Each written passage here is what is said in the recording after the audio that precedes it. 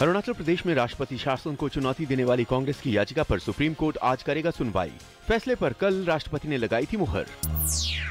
प्रधानमंत्री नरेंद्र मोदी अपनी सरकार के मंत्रियों और मंत्रालयों के कामकाज की आज करेंगे समीक्षा। सभी मंत्रालयों के कामकाज की होगी व्यापक समीक्षा। विकास में आ रही दिक्कतों पर भी होगा विचार।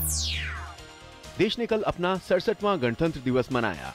देश भर में तिरंगा लहराया गया। गणतंत्र दिवस का मुख्य कार्यक्रम दिल्ली के राजपथ पर हुआ। राष्ट्रपति ने 21 तोपों की सलामी के साथ तिरंगा फहराया और सलामी ली। प्रधानमंत्री नरेंद्र मोदी भी थे मंच पर मौजूद। फ्रांस के राष्ट्रपति फ्रांसवा ओलांद गणतंत्र दिवस समारोह के मुख्य अतिथि थे। अत्याधुनिक हथियारों, मिसाइलों, विमानों और भारतीय सैनिकों ने कराया देश की ताकत का एहसास। महाराष्ट्र के मुख्यमंत्री देवेंद्र फडणवीस ने महिलाओं के मंदिर में प्रवेश करने का किया समर्थन।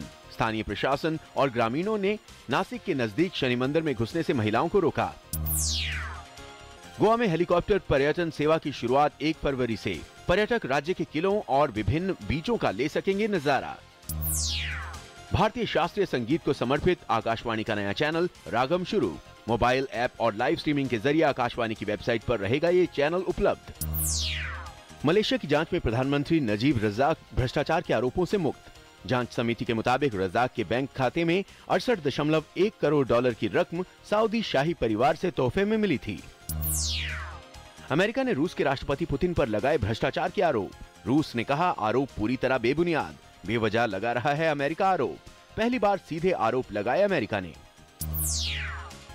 इसराइल के प्रधानमंत्री बेंजामिन नेतान्याहू ने संयुक्त राष्ट्र महासचिव बान की मून पर आतंकवाद को बढ़ावा देने का लगाया आरोप।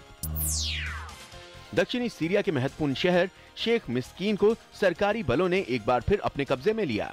आतंकियों से एक महीने चले संघर्ष में सुरक्षा बलों ने दमिश्क के पास शहर पर किया कब्जा। डेनमार्क की संसद ने शरणार्थियों के लगातार आने पर रोक लगाने वाली विवादित योजना को दी मंजूरी। शरणार्थियों के पास अगर डेढ़ हज़ार डॉलर से ज़्यादा कीमत का सामान है तो पुलिस को जब्त करने की इजाज़त।